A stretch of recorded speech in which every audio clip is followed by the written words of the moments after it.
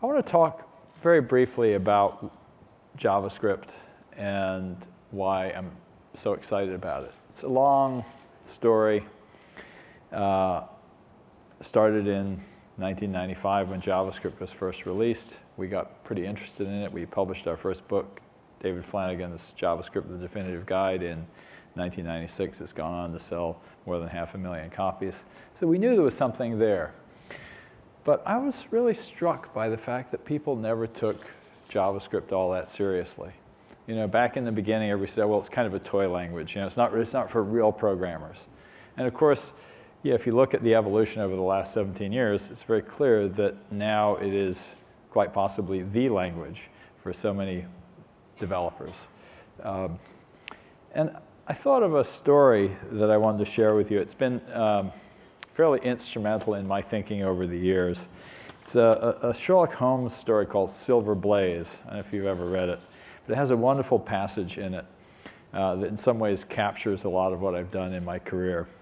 Uh, there's an interaction between Sherlock Holmes and a Scotland Yard detective. The detective says, is there any other point to which you would wish to draw my attention? And Holmes says, to the curious incident of the dog in the nighttime.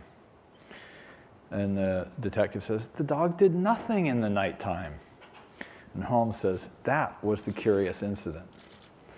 And uh, it is so many times when the thing that's staring us in the face that nobody is noticing is exactly what you want to notice. Now, you have to go read the story to understand why the fact that the dog did nothing was so curious.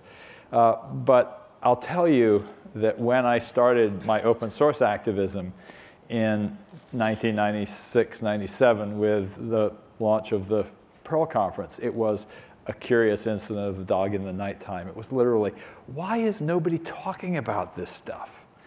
Uh, you know, our book Programming Perl was the top selling book at Borders in 96 and nobody noticed. And so I said, let me make some noise.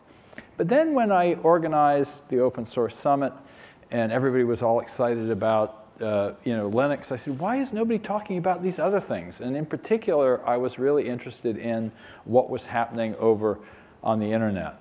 And people slowly realized that things like Apache and SendMail mattered. But even then, JavaScript didn't get its full due as one of the great languages. And maybe it's precisely because JavaScript was so disruptive, because it was bringing into the client the full power of programming. And like so many disruptive technologies, it didn't do everything, but the things that it did made new things possible. And those new things grew. You know, if you've ever read Clay Christensen's work, you know that disruptive technologies break open new markets doing things that people didn't think needed to be done. And JavaScript has followed that that course so beautifully. And here we are today. You know, you look at the richness and the uh, uh, power of what's being done with JavaScript, and you realize this is a language that has truly grown up. And I'm proud to, you know, have been, uh, you know, very early to support JavaScript, to be interested in it, and I'm really fantastically happy that we now have a conference on it. So thanks so much for coming, and uh, you know, keep doing the great work that you're doing. Thank you.